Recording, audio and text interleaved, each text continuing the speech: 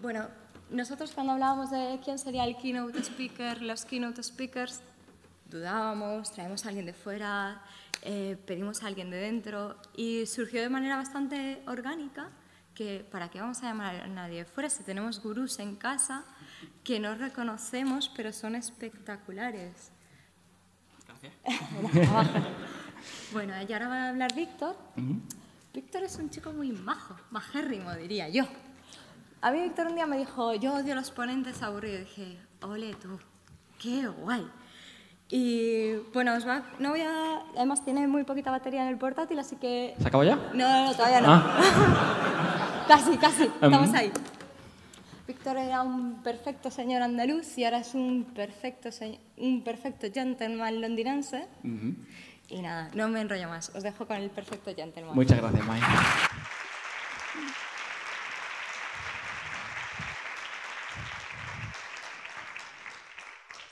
Hola, eh, estaba pensando que iba a decir cuando Mai me pasara la palabra y voy a decir esto. Estoy muy contento de que se me ofreciera dar la charla porque creo que va a ser la última, que de nunca, porque en- conducen por la izquierda en Inglaterra. No pienso conducir, pero sé que voy a morir atropellado. De hecho, está tan mal que tienen señales en el suelo, se había ido a Londres y pone, mira para el otro lado. Casi me ha pillado el autobús y sé que lo peor es que cuando, si no muero ahora, cuando aprenda a mirar hacia el otro lado, cuando venga en Navidad, me atropellarán por la derecha. Pero bueno, Londres. Me gustó una cosa que dijo Yami, que dijo, hay que contar una historia. Y yo tengo una para empezar. Si funcionara. Em, un segundo, un segundo. Voy a hacer clic aquí. Y voy a decirle reset. Y voy a decir... No, no funciona. Em, un segundo. Jo, me ha matado.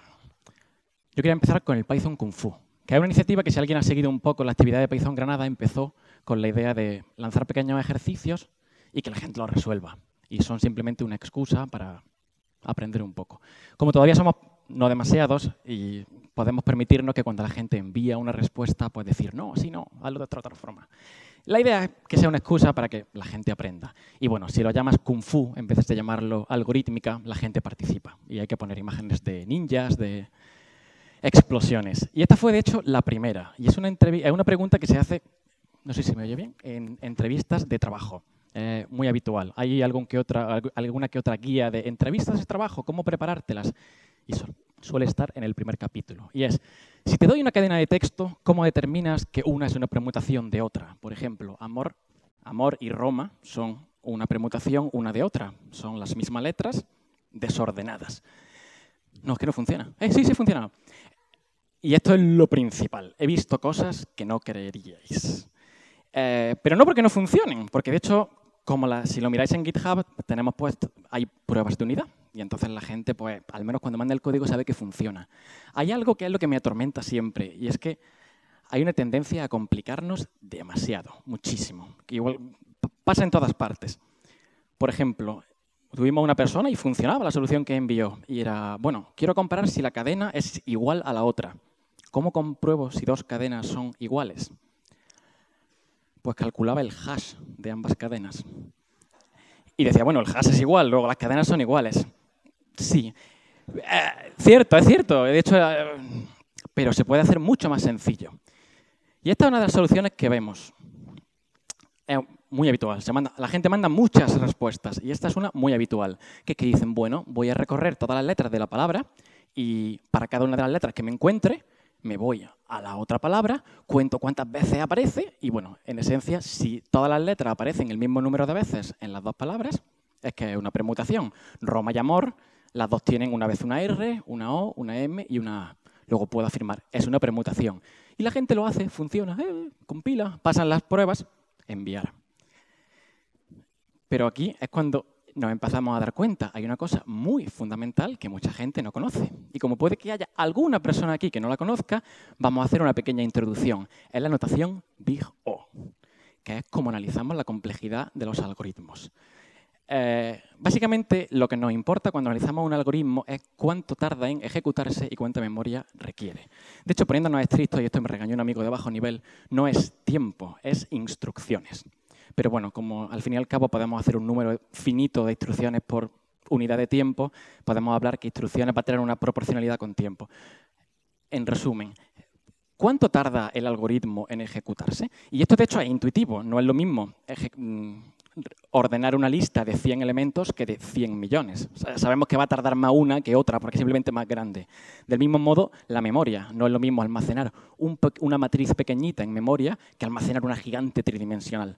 Hasta ahí bien. Algo que lleva a confusión muchas veces que cuando decimos ¿cuánto tiempo, ¿cuál es la complejidad en tiempo y en memoria de tu solución? Mucha gente dice, lo hacen mucho. En mi ordenador tarda 5 milisegundos. Ya, pero es que realmente no nos importan en términos absolutos. Todo, toda la historia de la notación Big O lo que busca es responder una respuesta fundamental, que es ¿a qué es proporcional el tiempo que tarda en ejecutarse tu algoritmo en función de la entrada? ¿Y cuánta memoria requiero? ¿Cómo crece en proporción?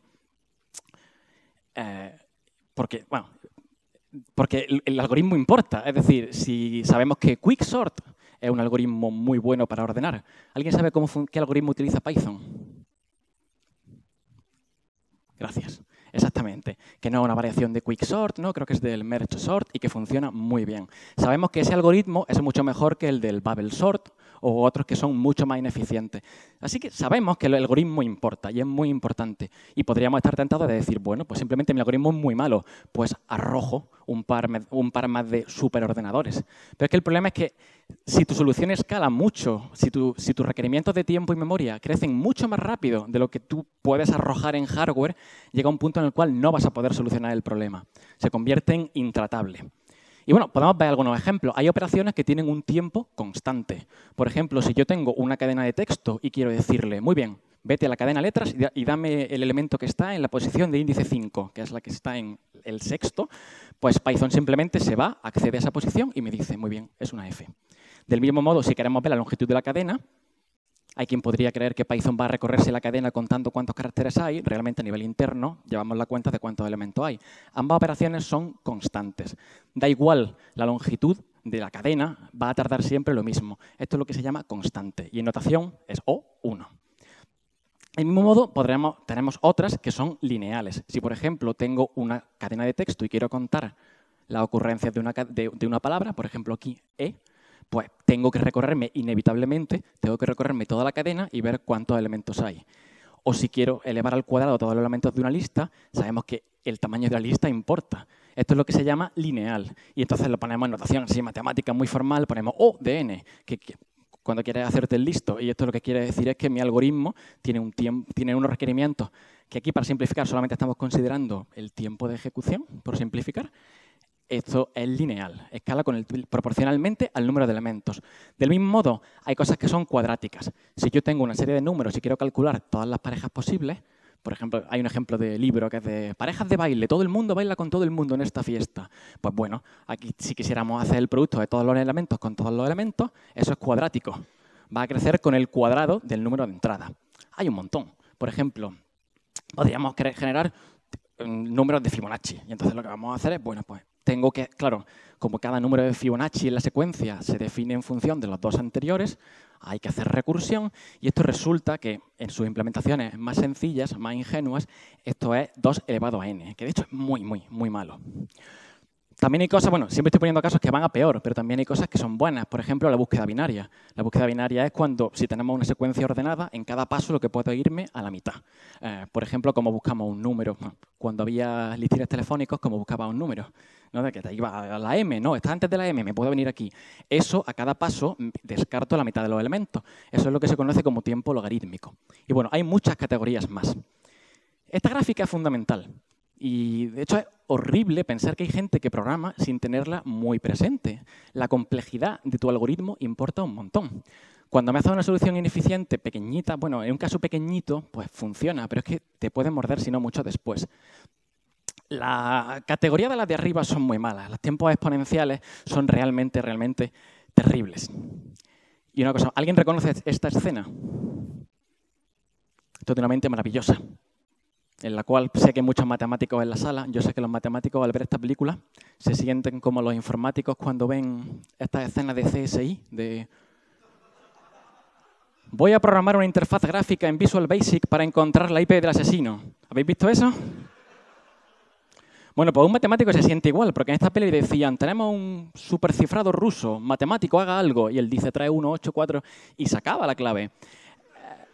Eh, y yo recuerdo haber, hace muchos años haber visto matemáticos que se enfadaban un montón con la película. Pues bueno, se sienten igual que nosotros con otras. Y esta era mi imagen para introducir que realmente las reglas de operaciones con las complejidades son el sueño dorado de toda la gente que creíamos que se nos daban mal las matemáticas. De hecho, en realidad no éramos nosotros, era el profesor. Porque es siempre que te lo explican mal, no tú. Porque son las reglas más sencillas del mundo. De hecho, para, en cuanto al grado, nos quedamos con el monomio, que es el término más formal que he podido encontrar, de mayor grado, donde monomio significa, amigos matemáticos, cacho. Aquí tenemos un cacho que es n cuadrado, otro que es n y otro que es el logaritmo de n. Pues como el cacho más grande es n cuadrado, cuando tenemos un algoritmo que tiene esa complejidad, se simplifica. Este un algoritmo de arriba se simplifica y se dice la complejidad es n cuadrado. ¿Por qué? Porque lo que predomina cuando nos acercamos al infinito realmente es el cuadrado para valores grandes. Y del mismo de la misma forma podemos eliminar los coeficientes, porque son solamente una constante, entonces se considera que pertenecen a la misma categoría. Que esto es aún más intuitivo infinito y 5 veces infinito es un montón. Así que se puede decir O elevado a n. Y es fantástico. Teniendo eso presente, podemos volver al Kung Fu. Lo mejor de todo, por cierto, es que ponemos Python Kung Fu y las imágenes nunca son de Kung Fu. Que, eso, la gente que sabe algo de cultura de, esa parte del mundo es también terrible. Nunca es Kung Fu.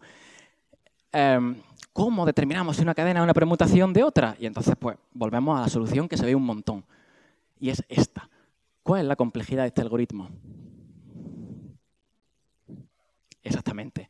La complejidad es cuadrática. Y bueno, funciona, pero toda la idea del Python Kung Fu era que pudiéramos aprender. Entonces, hay una variante que funciona muy bien y es mucho mucho mejor. Y es que lo que decimos es, bueno, en vez de para cada una de las letras nos recorremos toda la cadena y entonces vemos cuántas letras hay, vamos a hacer una cosa, porque no las contamos solamente una vez cada letra. Entonces lo que hago es, muy bien, voy a crearme un contador, un diccionario, en otros lenguajes conocido como una tabla hash, y lo que voy a hacer es, muy bien, voy a recorrerme la palabra y entonces cada vez que me encuentre una letra voy a decir, muy bien, pues incrementa su contador en uno. Ahora, como un diccionario en Python, tenemos que decir, oh, pero es que si intentamos incrementar en uno el contador de la palabra e, que todavía no lo he visto, me va a dar un key error, entonces tengo que asignarlo a. Y en caso de que sí esté, pues simplemente lo incremento. Y luego lo hago lo otro para la otra palabra y las comparo. Si las palabras son eh, una permutación una de la otra, los contadores, los diccionarios, serán iguales. ¿Cuál es la complejidad de esto? Lineal, porque solo tengo que recorrerme las cadenas una vez y voy creando el diccionario. Y eso también. Hay una página web en la cual buscan imágenes de películas y reemplazan las pistolas por OKs. Hay un montón. Pero hacer eso es muy aburrido, porque eso de, oh, tengo que crear el contador, tengo que tener en cuenta siempre, es un patrón muy habitual. Tengo que ver si el elemento está ya o no está y si no está lo, pongo a uno, si está lo, aumento. ¿no? Para eso está el default dict, que son los, diccionarios por defecto, dentro de, uno los tres, dentro de uno de los tres grandes módulos de Python, que es uno de ellos es collections. Y entonces lo que podemos decir es simplemente, bueno, en caso de que yo acceda a un elemento y no esté, pues simplemente me va a dar un valor. Cuando lo creamos así, con int, lo que nos va a, dar, nos va a devolver un 0. ¿Por qué? Porque de hecho si llamamos a int con paréntesis solo, nos va a devolver un 0 entonces así podemos ver que si nosotros accedemos a un diccionario normal, funciona como siempre, pero cuando accedemos a una variable que no, que, no es un elemento que no está dentro del diccionario, en vez de lanzarnos error, nos da el valor por defecto, cero. Por eso podemos directamente en, en la última línea, podemos incrementar el valor de c en 1 y no pasa nada, porque bueno, pues c no está, pues entonces vale 0, lo incremento en 1, ahora vale 1. Nuestro código entonces se simplifica y se queda simplemente en que tengo que recorrer los elementos de la cadena e incrementar el contador para esa letra en 1, hacerlo para la otra cadena y comprar. Pero es que lo podemos hacer aún mejor, porque de hecho incluso este patrón es muy habitual, el de quiero contar cosas. Por eso en el mismo módulo collections, por eso de que hay que leerse la documentación, tenemos, los diccionarios, tenemos la clase contador, con un nombre súper obvio. Y entonces solamente tenemos que darle de hecho, no tenemos que darle una palabra, tenemos que darle un iterable y entonces se lo va a recorrer y nos va a dar el contador. Con lo cual, sencillamente, te tenemos que decir, muy bien, toma palabra y dime cuántas veces está, puedo consultar en ese diccionario cuántas veces está cada cosa. Con aparte una diferencia, si el elemento no está, no da aquí error cuando accedemos, no da cero, porque de hecho está respondiendo a una pregunta. ¿Cuántas veces está X? Cero. Por lo cual nuestro código se simplifica aún más. Simplemente importo el módulo collections, comparo las dos cadenas y los dos diccionarios, los dos contadores, y si los dos contadores son iguales, es que hay una permutación una de otra. Aún mejor, en una única línea, podríamos decir, si el contador de una palabra es igual al contador de la otra, es que son una permutación una de otra. Y nos encanta Python. Ah". De hecho, no, estamos en la PyCon, así que nos encanta y no hay ningún aspecto negativo. Yo prefiero esta solución, y aquí es donde entra la polémica. Em, yo preferiría hacerlo de esta forma, y voy a ordenar las dos cadenas de texto, y si el resultado de ordenarlas es la misma cadena, es que una es una permutación de la otra. Mm, de hecho, mi argumento es, bueno, por cierto, sí, esto, aquí predomina, por supuesto, aquí la complejidad es la de la ordenación, que es team sort, y entonces es n logaritmo de n. Yo considero que esta solución es más pitónica, pythónica, porque creo firmemente que se acerca mucho más a como nosotros como seres humanos pensamos.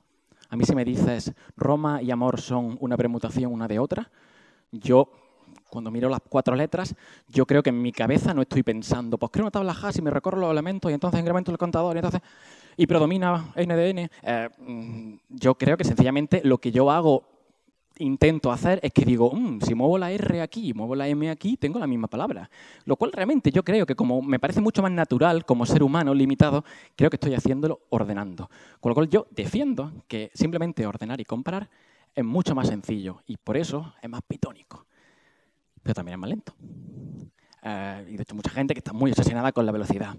Y es cierto, es lento. Y aquí voy a apelar al argumento de autoridad, hay una gran persona y Barbara Liskov, en una de sus charlas, dice, no necesitas el rendimiento óptimo, necesitas el suficiente para cada problema. Típico ejemplo, tenemos un objetivo crítico en nuestra vida, vamos a hacer un programa que abre un fichero, lee la primera línea y la muestra por pantalla. Pues lo podríamos hacer en, en ensamblador y podríamos ahorrarnos 5 milisegundos con esta llamada. Ya, pero es que realmente que tu programa tarde dos segundos o un segundo punto 9999 realmente no es crítico. Mm, con lo cual, lo que yo creo que es mucho más importante el alcanzar lo que necesitamos, no tanto el obsesionarnos con la velocidad. Pero voy a hacer una pausa para meterme con gente.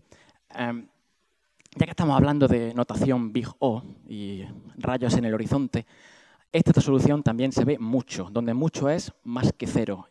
Y es ¿Qué gente dice, bueno, que quiere saber si una cadena es una permutación de otra? En el módulo IterTools tengo una, función que, me calcula todas las permutaciones de un elemento. Ah, no, y llevan razón, tú has preguntado, ¿no? Genero, genero todas las permutaciones, voy comparando con la otra cadena y si en algún momento hay un encajan, son iguales, es que era una permutación. Esto es listo, porque luego está la categoría de tonto motivado, que lo que, que implementa su propio método de calcular todas las permutaciones. y se puede hacer con recursividad. ¿Cuál es la complejidad de esto? Es n factorial. n factorial básicamente es esto.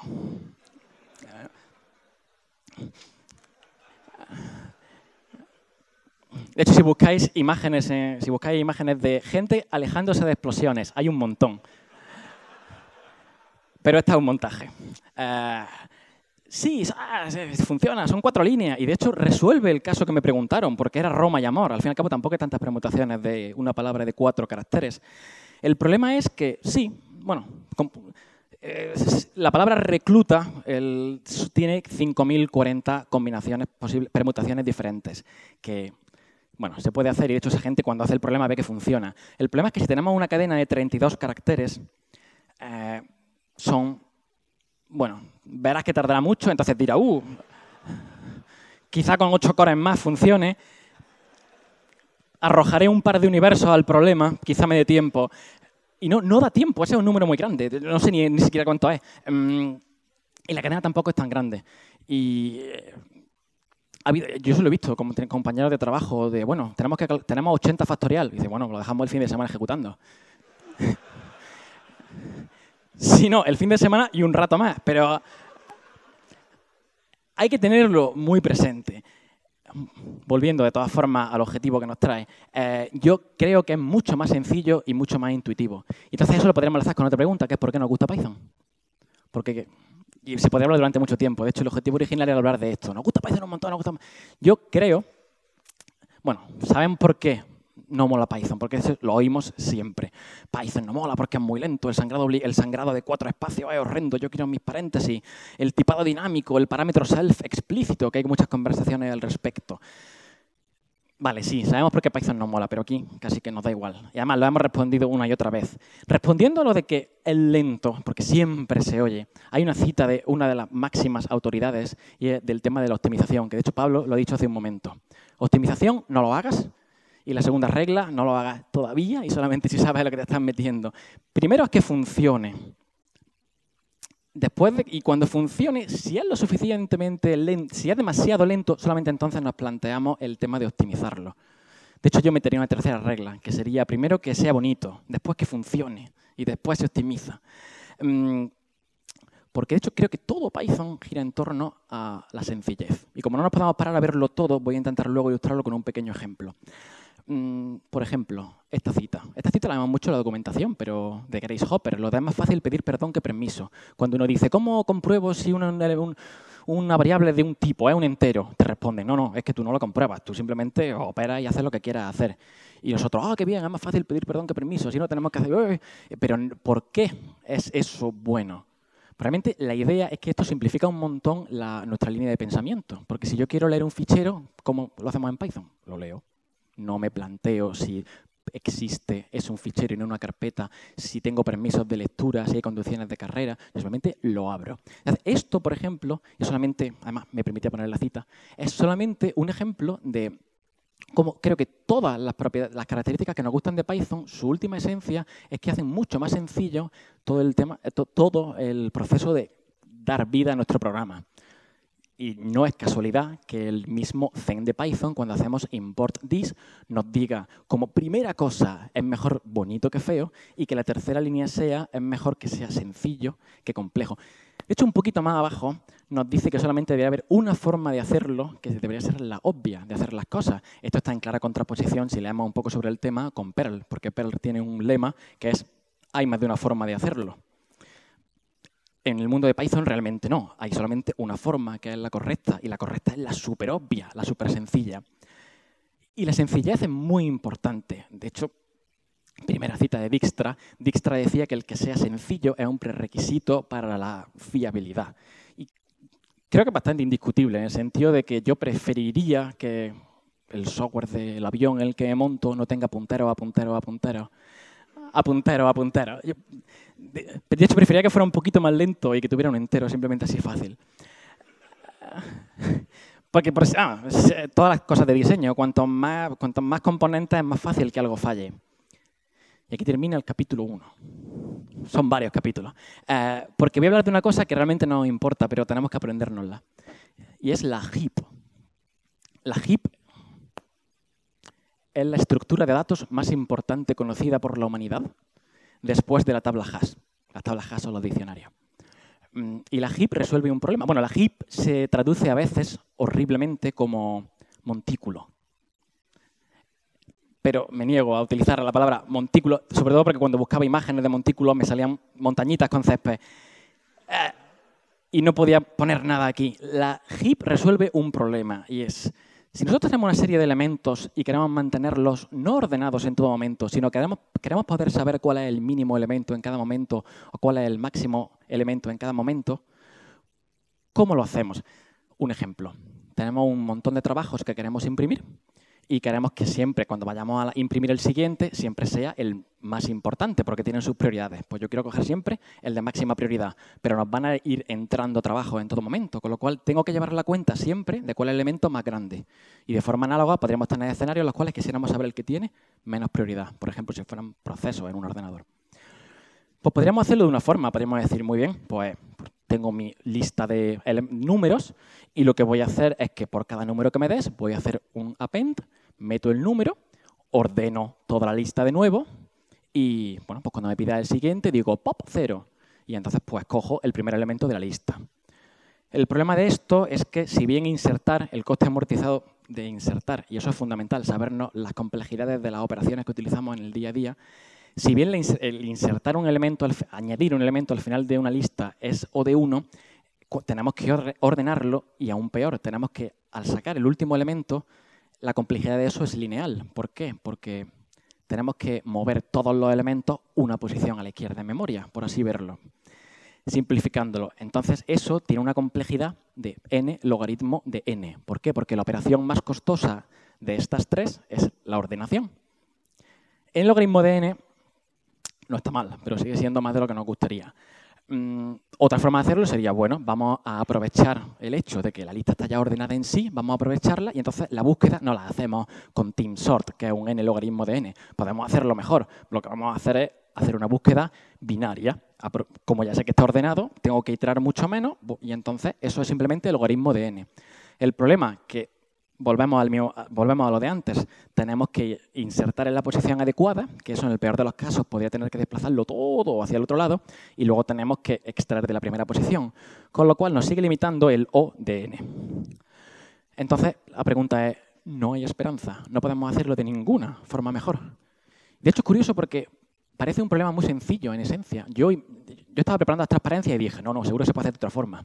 Entonces intenté utilizar una lista enlazada en la cual hacía... No se puede pero sí hay esperanza. Podemos utilizar la HIP. ¿Será la HIP mucho para la última charla de la PyCon? No. La HIP lo que hace básicamente es, es una estructura en la cual no garantiza que el elemento de más arriba, porque es un árbol, sea siempre el máximo o el mínimo, dependiendo de si estamos hablando de una max heap o una min heap, ¿no? Eh, una máxima o una mínima. Por simplificar, y porque es lo que utiliza Python, vamos a considerar que es una min heap. El elemento de arriba, la raíz del árbol, va a ser siempre el elemento más pequeño. Y también en Python y también hay muchos tipos de implementaciones, muchísimas, pero la más, una muy habitual y que tenemos en Python es la heap, una, es una heap binaria, en la cual cada nodo tiene máximo dos hijos. Y bueno, también hay un árbol completo porque lo vamos rellenando de derecha a izquierda y de, arriba, de izquierda a derecha y de arriba abajo. Pero no hace falta saber tanto. La heap siempre se reordena después de una ordenación. Pongamos que introducimos el elemento 11. Pues entonces lo que va a hacer la heap es decir, muy bien, perdón, esto es importante. Cada nodo es siempre más pequeño que sus hijos. Esa es la única regla que importa. Con lo cual, cuando yo añado un nuevo elemento, por ejemplo, 11, dice Python, ¿es 11, es 9 más grande que su hijo, que es 11? Sí. Con lo cual, todo fantástico. Ahí te quedas. ¿Qué pasa si añadimos algo que sí rompe lo que se llama como la invariante? ¿Qué pasa si añado un 5? Que lo que entonces tenemos que decir es, ¿es 5, es 9 más pequeño que su hijo? 5, no. Pues entonces lo invertimos. Y entonces seguimos por aquí. ¿Es ahora 5 más grande que su padre? ¿O al revés? ¿Es 7 más pequeño que su hijo? No. Entonces reordénalo. Y tenemos que llegar hasta esta posición en la cual ya sí se cumple lo que se conoce como la invariante, que es muy matemático. Y es que 3 es menor que su hijo, que es 5. Y hemos terminado. Cuando eliminamos un elemento, cuando queremos coger cuál es el mínimo, dame el, elemento mínimo de la heap, pues simplemente cojo el 3 y lo quito. Y entonces, bueno, pero necesito ahora algo en la raíz, ¿no? Pues lo que se hace es que se coge el último elemento, porque la vamos rellenando hacia acá y de arriba a abajo, y lo movemos a la raíz. Y entonces ahora comprobamos si se vuelve a mantener la invariante. Entonces, 9 tiene dos hijos, 5 y 4. ¿Es más, ¿Es más pequeño que los dos? No, no lo es de hecho, el más pequeñito de su hijo es 4. Entonces lo invierto. Así hemos conseguido que el pequeño, que es 4, ahora esté en la raíz. Y volvemos a repetir en el siguiente nivel. Y como se cumple que, aunque sí 9 es más pequeño que 13, no lo es que 8, lo invertimos. Y cuando hemos acabado de propagar los cambios, tenemos una heap que vuelve a, cumplir su invariante y en la cual se cumple lo que queríamos, que era que todos los nodos son siempre más pequeños que su hijo y que el más pequeño, por definición, está en la raíz. Y eso mola un montón, porque la heap tiene todas las operaciones que nos importan, que son añadir y extraer en tiempo logarítmico. Y el salto de tiempo lineal a tiempo logarítmico es muy, muy, muy grande. En Python tenemos un módulo que implementa la heap, aunque nadie lo usa nunca. Eh, también una propiedad que pensaba meter, pero mi consejo de sabios me dijo no, y me lo vetaron. Y quería enseñar que es que realmente una, una característica muy chula de las heap es que se puede representar como un array, es decir, como una lista de Python. Se puede básicamente aplanar y entonces podemos trabajar en vez de con un árbol, que es muy complejo, con una simple lista. De hecho, es lo que hace Python. Python, cuando quieres trabajar con una heap y no necesitamos saber cómo funciona, le dice, muy bien, esta lista vacía, por ejemplo aquí h, tú vas a ser la heap aplanada. Y entonces con los métodos del módulo heapQ podemos añadir elementos. Por ejemplo, añado 4, añado 2, añado 7. Podéis imprimirlo por pantalla para ver lo que sale, pero nos da igual. Lo que importa es que cuando hagamos un pop nos va a dar el elemento más pequeño. En este caso es 2.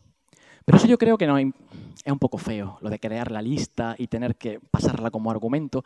A mí me gusta utilizar una simplificación que es una clase heap que simplemente engloba esos métodos de antes. Entonces, en el constructor creo mi lista vacía y cuando añado y cuando hago un push y un pop, pues llamo a los dos métodos que hay por debajo. Con esto es otra capa de abstracción más y que nos lo simplifica mucho, porque podemos pensar en una heap como nos importa a nosotros, que es algo en lo cual se pueden añadir elementos y se pueden extraer.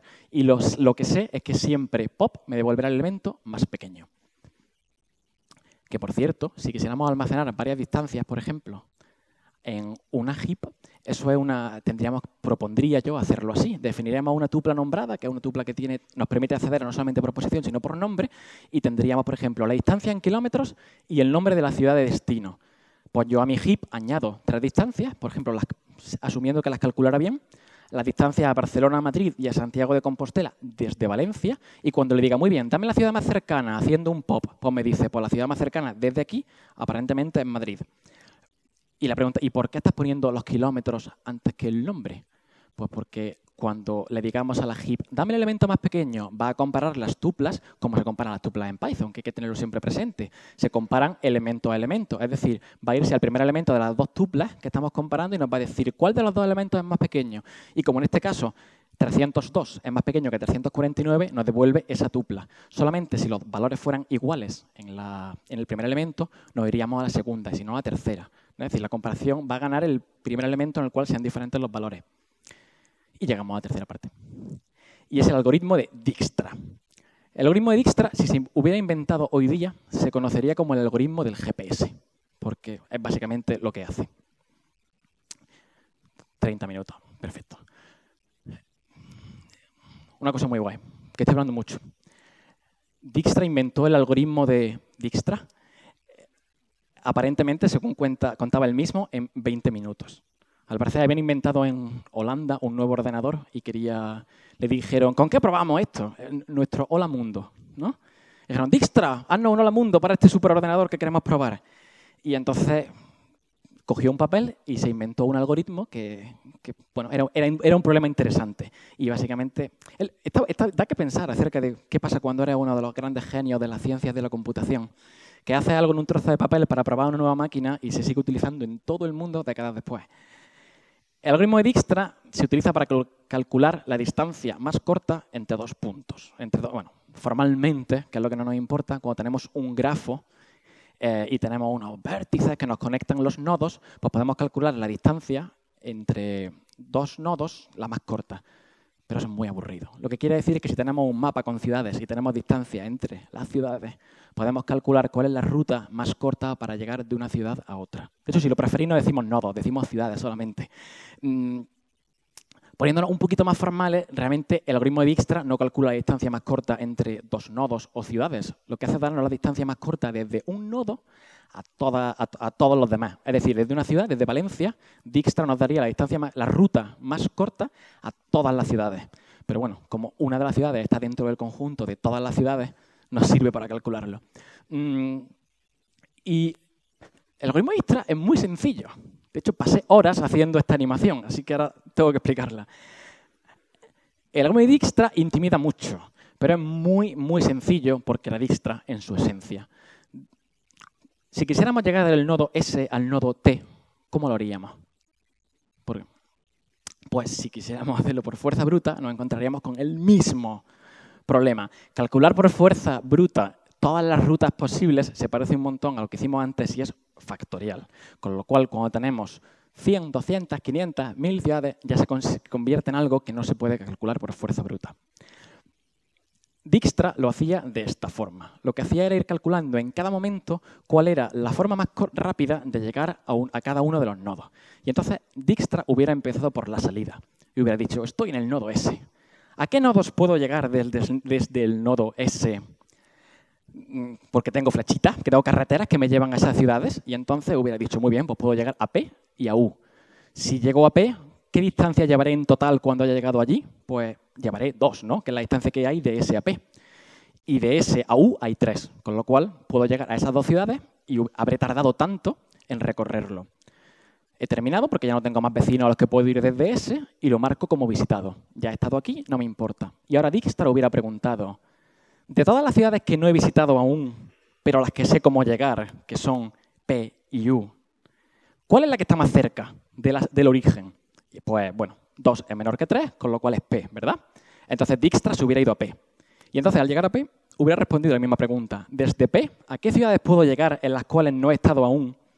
¿Y cuánto me va a costar llegar a ellas? Pues hubiera dicho, pues mira, Dijkstra, puedes llegar a Q. Si vas a Q desde P, como llegar a P te costó 2 y vas a tardar 5 más, llegar a Q mínimo, la mejor ruta que conocemos ahora, es 7. X va a tardar, pues lo que llevas ya, que es 2, más 4 es X. Y bueno, no puedes llegar a ninguna otra, porque en ese ya he estado, de hecho viene de allí. Termino, marco P como visitado y vuelvo a responder la misma pregunta, que es, ¿a qué ciudad puedo llegar ahora? ¿Cuál es la ciudad que tengo más cerca del origen en la que no he estado? Y es... Muy bien. es U. Porque no he estado en U, no he estado en X y no he estado en Q. Y bueno, la más cerca es U porque está a 3. Entonces, Dijkstra volvería a hacer lo mismo. Desde U puedo llegar ahora, puedo llegar a X también. Llegar a X, de hecho, por U me cuesta 4. Porque en U, en U, en U estoy atrás del origen y con uno más llego a X. Entonces digo, eh, puedo mejorar la ruta a X, porque yo a X sabía llegar tardando 6 yendo por allí, pero si vengo por aquí tardo mucho menos, tardo 4. Entonces, bueno, pues actualizo 4 y digo 4 mola mucho. Entonces, ahora X tengo una mejor ruta conocida que es 4 y la marco. Y repito, bueno, pues llegar de U, llegar a V es 3, 3 más 3 es 6. Y en esencia, el algoritmo procede todo el rato igual voy calculando las distancias a un nodo, a todos los nodos desde el que estoy ahora, voy calculando la distancia a todos los que puedo llegar que no he visitado aún, y en caso de que encuentre una, una ruta mejor, actualizo. Y repito, este, en este ejemplo intenta entrar por abajo y en un momento dado se da cuenta de que es mejor por arriba, entonces nos vamos por allí. Y si seguimos repitiéndolo, hay un momento en el cual llegamos a T. Y de hecho es muy fácil, cuando llegamos a un vecino la demostración matemática también era muy elegante, pero no nos hace falta saberla. Se puede demostrar que la ruta más corta la vas a haber alcanzado en el momento en el cual llegues a visitarte por primera vez. Ese es el camino más corto y de hecho con Dijkstra lo hemos calculado. La complejidad, y esto es una simplificación atroz, podemos dejarlo en que es n logaritmo de n, donde n es el número de nodos. Entonces, eso es muy, muy rápido. El único problema de Dijkstra, y que yo me lo encontré cuando intenté implementarlo la primera vez por curiosidad, es que las implementaciones son horrendas. os desafío a que intentáis encontrar algo comprensible respecto a Dijkstra. Esta es la implementación que hay en la Wikipedia, en pseudocódigo. Y esto me recuerda que a mí me pasa siempre, que es que yo a donde voy, cuando cada vez que ponen un tocho, un bloque de código así en las transparencias, veo que todo el mundo hace, mm, sí, sí, y de hecho, por eso mismo yo estuve toda la vida convencido que era muy tonto, porque era el único que no me enteraba. Todo el mundo, oh, sí, evidente. De hecho, ahí, aquí en esta matriz hago un infinite y un undefined. Ajá, sí. Bueno, yo confieso que a partir de la línea 7 no sé lo que pasa. No sé lo que pasa en el sentido de que dejé de leer, porque no. Em, esta es la que está en Wikipedia, y, y, es triste, porque yo dependo mucho de la Wikipedia. Pero es que hay un caso aún peor, que es Rosetta Code que es una página web donde hay implementaciones de muchos algoritmos, de mucha ayuda en muchos lenguajes para que puedas comprar idiomas de lenguaje de programación y demás. La implementación en Rosetta Code es esto. Por favor, cargando. Es que Esto. Esta es la implementación de Rosetta Code, que, bueno, no llevo ni siquiera a línea 7 y me hace sentirme muy mal. De hecho, puntos extra por el detalle del único comentario que hay en todo el programa. Ahí. Es un ejemplo de, por qué hay que comentar un, código, ¿no? Porque, claro, ahora lo entiendo todo. Relax UVA. Es un programa muy fácil. esto claramente calcula la distancia más corta en un, en un grafo. Horrible, horrible. Y de hecho costó mucho buscar ejemplos de cómo puedo encontrar una forma de verdad de implementar Dijkstra. ¿Cuál es la esencia de lo que hemos visto que es muy tonto? ¿Dónde no he estado aún? Allí. Pues mira a ver cuánto tarda en llegar a eso. Pues voy a proponer que lo hagamos muy, muy fácilmente en Python. Y como excusa pensé, ¿dónde es la próxima PyCon US? Es en Oregón, en, en, Portland. Entonces pensé, ¿y si pudiéramos ir a Portland? ¿Y si cogiéramos el avión privado de Python España, el Jet? Y como somos cuarenta y pocos de momento, cabemos y nos bajamos al aeropuerto de Portland, donde quiera que esté eso. Pues más, no voy a utilizar ningún buscador de vuelo, lo voy a implementar yo, la ruta más corta. Por supuesto, la ruta más corta en la vida real, cuando nos montamos en avión por primera vez, decimos, eh, el avión no va en línea recta, ya está yendo al polo norte, cuando está yendo hacia América. Sí, porque por esas cosas de geometría raras, cuando tienes una esfera, la ruta más corta no es, no va a atravesar la Tierra. Entonces, trazas una cosa con una cuerda, te lo enseñan y no te enteras cuando eres pequeño, que resulta que la ruta más corta en un mapa, es, en una esfera, de verdad es esto. El avión haría esto cuando despegáramos desde Valencia y fuéramos hasta Oregón, el avión haría esto. Pero en la vida real no intentamos minimizar distancia, porque como lamentablemente no tenemos un avión privado aún, en la vida real el grafo se parece a esto.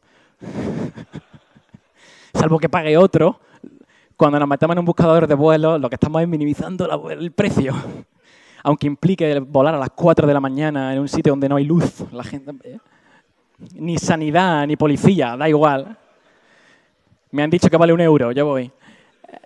En la vida real queremos minimizar el precio. Entonces el grafo de verdad, aunque nunca lo hayamos pensado, se parece a esto. Puedo ir a un montón de ciudades, cada conexión tiene un precio, digamos que es el mejor precio que ofrece la compañía aérea o, una el más barato entre varias ofertas de varias compañías aéreas, ¿cómo minimizo eso?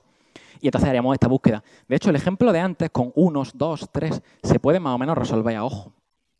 Yo creo que este no. Y estamos hablando de que ya son muy poquitas ciudades. El mundo real tiene muchos aeropuertos. Pensé, ¿cómo lo hacemos? Y entonces, como hay gente para todo, y la gente tiene hobbies increíbles, porque el mundo es un lugar fantástico, y no va con, no va con ironía, no, no, lo digo completamente en serio. Me parece que es precioso que cualquier cosa, hay mucha gente que lo hace y lo hace muy bien. Hay una página web que se llama Open Flights y hay gente que recopila información de todos los aeropuertos del mundo, de todas las rutas aéreas del mundo, de todas las compañías aéreas, todo. Y te lo puedes bajar, puedes hacer una donación. Y dices, hey, genial, te puedes bajar un fichero que tiene todos los aeropuertos del mundo. Y lo van actualizando con muchísimo, muchísimo esmero. Y puedes utilizarlo para un segundo. Puedes utilizarlo igual que puedes utilizar el fichero que tienen con todas las rutas aéreas. Mm, y de hecho utilizarlo es muy fácil, es simplemente, son 40. Utilizarlo es muy fácil. Yo propongo, vamos a crear una tupla nombrada que se llama, bueno, que se llama aeropuerto, donde vamos a almacenar el código IATA, que es eso de VLC para Valencia o BCN para Barcelona, y vamos a guardar las coordenadas del, de, del aeropuerto, el nombre del aeropuerto y el país en el que está. Creo que aquí ya se pueden señalar un par de detalles que son muy pythónicos, como por ejemplo el argumento por defecto. Porque el argumento por defecto lo que nos permite es que, ¿para qué vamos a pasarle otra vez un parámetro cuando es siempre el mismo? Los argumentos por defecto están muy bien, pero no tanto como el gestor de contexto quiz, que en esencia es una abstracción de la entrada y la salida hay una cosa, un escenario muy habitual que el de quiero leer un fichero, pero tengo que garantizarme que lo cierro aunque haya una excepción. Entonces sería el típico try, except, finally. El with, que es como abrimos un fichero de forma recomendada, lo que nos permite es que nosotros nos tengamos que olvidar por completo de cerrar el fichero. Sabemos que cuando abandonemos el bloque se nos va a cerrar, sea porque los acontecimientos sigan su curso o porque haya algún error. Y del mismo módulo, y eso es genial, tenemos pilas incluidas y podemos, con el módulo CSV, podemos simplemente leer el fichero y entonces generar... Esto, de hecho, no es una, es una función, pero nos puede volver un generador, porque estamos utilizando yield. Lo bueno de eso es que vamos, congelamos el estado de la función y cada vez que llamemos a la función con su next, nos va a devolver la otra. Y si lo hacemos así, de hecho podemos utilizar una lista por comprensión porque no para simplificar las cosas, yo no quería introducir las coordenadas de Valencia a mano, lo que dije, muy bien, voy a crear una variable que se llama airports, que va a tener eh, un diccionario en el cual asocio el código de cada, de, cada de cada aeropuerto, lo asocio con el objeto aeropuerto donde tengo toda la información que me importa. Si hago esto, el código funciona, que siempre me maravilla cuando mis programas funcionan, y podemos decir, muy bien, aeropuertos, dame VLC. Pues nos dice, en efecto, ese aeropuerto corresponde a Valencia y ahí tenemos unas coordenadas que son las nuestras, donde estamos ahora mismo. Y bueno, Portland tiene un código que nunca hubiera adivinado, que es PDX, y ese es el aeropuerto que está en Oregón, en Estados Unidos.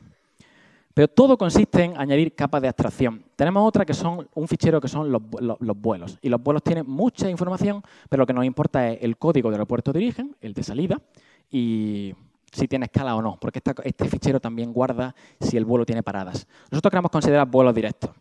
Entonces digo, bueno, voy a hacer lo mismo. Voy a abrir el fichero de vuelos, que aquí lo guardé como flights.dat, y voy a tener otra tupla nombrada en la cual almaceno origen y destino. Entonces, cada uno de esos objetos de la clase vuelo lo que va a almacenar es pues, una conexión entre dos ciudades.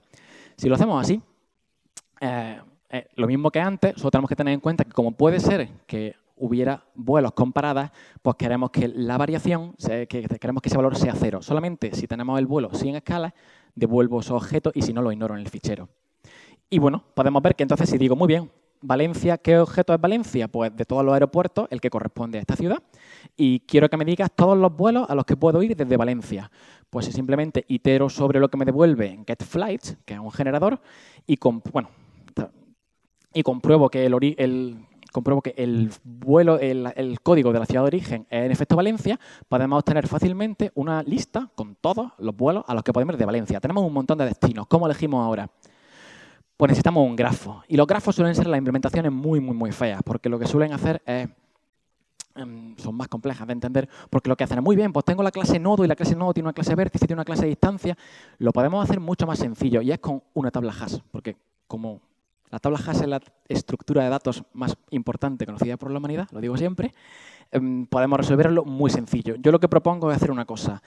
Voy a crear un diccionario por defecto, que ya los conocemos, en los cuales lo que tengo es un conjunto para cada, uno, de los elementos del diccionario. Entonces, cuando tú me digas que conecte el nodo A y el nodo B, lo que voy a decir, muy bien, pues A es uno de los vecinos, uno de los nodos a los que puedo llegar desde B y B lo es de A. Con lo cual, tengo que ocupar más memoria, pero simplifica muchísimo la implementación. Del mismo modo, cuando me digas a qué nodo está conectado este nodo, aquí, pues simplemente te devolveré todo el conjunto de nodos vecinos que yo guardé. Si lo hacemos así, podemos ver que funciona, porque si digo conecta A con B, A con C y B con C, pues entonces cuando yo le diga muy bien cuáles son los vecinos de A, pues nuestra clase se va a ir al diccionario por defecto, va a ver dónde está conectado, eh, va a ver la entrada de A y A le va a llevar a un conjunto donde están B, y C. Aquí no se, nos devuelve como C y B porque los sets no tienen orden en Python, ¿verdad? Entonces, bueno, para simplificarlo aún más, porque no quiero pensar, dije, muy bien, pues dime vamos, a vamos, a tener un método que nos devuelva un grafo con directamente ya toda la información del mundo. Pues entonces cuando llamo a mi método, a esta función, lo que hace es crear un grafo vacío y lo que hace es que para cada uno de los vuelos que hay en el fichero de vuelos, conecta las dos ciudades y me devuelve el grafo. Con lo cual ya puedo trabajar con un grafo, un objeto muy abstraído que me dice mundo. Y entonces yo puedo decir, muy bien, para cada uno de los destinos a los que puedo llegar desde Valencia, imprímemelos y se nos va simplificando aún más el código. Ahora ya obtener todos los vuelos a los que puedo llegar desde Valencia con información real, que eso está súper chulo, se hace así. Mm, pero claro, los precios es lo que nos importaban. Y para los precios eh, tenemos un problema, y es que la información de los vuelos es la de verdad difícil de conseguir. Estuve hablando con uno de los patrocinadores ayer, eh, gente de Skyscanner, y me dijeron que hay compañías que sí te permiten que veas los precios, pero hay otras que no porque es parte de su juego. Entonces, tienes que... Esa es una pelea realmente. Entonces, en este caso, por simplificar, lo que dije, muy bien, pues vamos a hacer una cosa. Vamos a asumir que nos cobran de forma proporcional a la distancia, que la vida real nunca es así. Pero si lo hiciéramos así y dijéramos, muy bien, pues vamos a tener, nos van a cobrar 10 céntimos por kilómetro. Pues entonces, para calcular la distancia entre dos nodos, lo único que tengo que hacer es ver la distancia que hay entre los dos nodos y multiplicarlo por esa constante. La distancia de Haversine, esta que yo no la conocía, ni siquiera sé cómo se pronuncia bien, es bueno, pues la distancia, de la, distancia curva, que no es recta, porque una esfera funciona así. Y podemos ver que, por ejemplo, desde Valencia hasta Heathrow, pues si dijéramos, ¿cuál es el precio? Pues nos diría, pues son 133 euros en este modelo simplificado. Y ya llegamos a Dijkstra. Y en tres minutos podemos implementarlo. Porque Dijkstra, lo que está haciendo nuestro código es exactamente lo que estábamos haciendo a mano. Y es, voy a calcular, voy a utilizar una heap, por eso teníamos que conocerla. Y entonces voy a empezar por el origen. ¿Cuál es el origen? El argumento que se llama origen. Para cada uno de los vecinos a los que puedo llegar desde el origen, voy a calcular cuánto me cuesta llegar al origen con getPrice y voy a añadirlo a la heap. ¿Por qué necesito añadirlo a la heap? Porque esto nos lo simplifica un montón. Yo simplemente arrojo cosas a la heap y en cada momento diré, dame el más cercano, dame el más cercano. Si no, lo, haces con la heap, hay gente que lo que dice es muy bueno, pues voy a tener una tabla en la cual voy almacenando cuál es la distancia a cada sitio.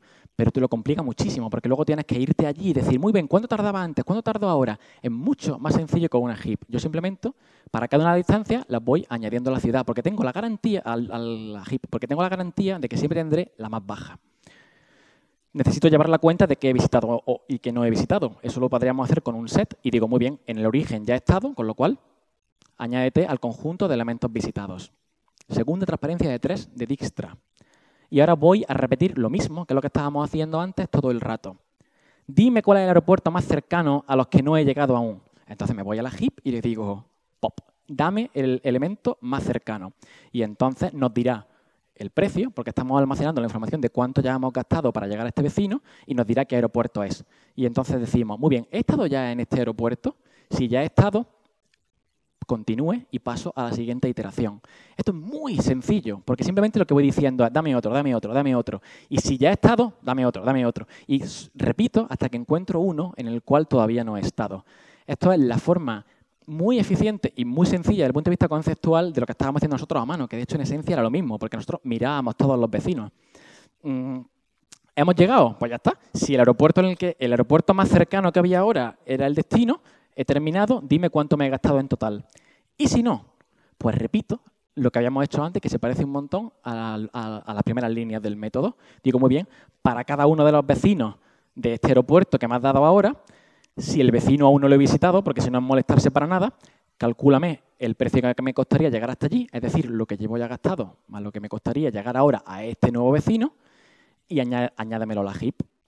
Y repetimos. Bueno, por supuesto hay que marcar como que hemos visitado este sitio. Mm, en completo, en, total, el código de Dijkstra es esto. Eh, y, bueno, por supuesto es una simplificación porque la vida real tenemos que tener en cuenta otros escenarios como, por ejemplo, ¿y si no se puede llegar de un destino a otro? Con los aviones sí se puede, pero ¿y si no pudiéramos llegar? Pues entonces ese while true tendría que tener en cuenta, no sería un while true, sería mientras nos quedaran cosas que visitar. Se podría retocar un poco, pero la esencia de todo el algoritmo es ese. Mm, por ejemplo, si dice, muy bien, pues de Valencia a Portland, ¿cómo podemos llegar? Nos dice, se puede llegar por 917 euros. Mm, pero eso no nos sirve de mucho una modificación de dos líneas es que no quiero saber el precio, quiero saber la ruta. Pues para la ruta lo único que tenemos que hacer es, en vez de tener en cuenta el precio, tenemos también en cuenta otra cosa, que es los nodos que ya he visitado. Entonces, si lo que tengo es una cosa que sea ruta, donde es una lista, lo que puedo hacer es ir añadiendo a, para cada una de las rutas posibles, añado siempre el siguiente elemento que he visitado. Con lo cual lo que tengo en una lista con todo el camino que hice. Si lo cambiamos a eso, podemos ver que funciona y cuando calculamos la ruta desde Valencia hasta Portland, nos dice exactamente, podemos hacerlo haciendo escala en Islandia, después tenemos que parar en Seattle, en Estados Unidos, y llegaríamos a Portland. Por supuesto, como hemos utilizado una simplificación, que es que los precios son directamente proporcionales a la distancia, este algoritmo nos está calculando una ruta que misteriosamente va por aquí.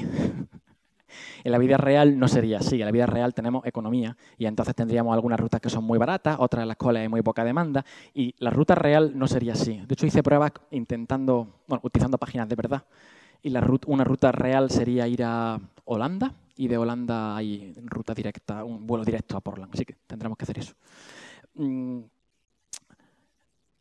Dijkstra decía que la elegancia es un, no un lujo de que puedas prescindir, sino que es un elemento que decide entre el éxito y el fracaso. Y cuando Dijkstra decía elegancia, lo he estado mirando antes para asegurarme, él se refería a elegancia en su sentido matemático, que es el de claridad y sencillez.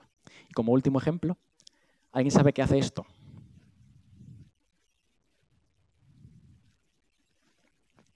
Esto multiplica por 320, porque 2 elevado a 8 más 2 elevado a 6 es 320, y eh, podría ser más rápido, puede que sea más rápido.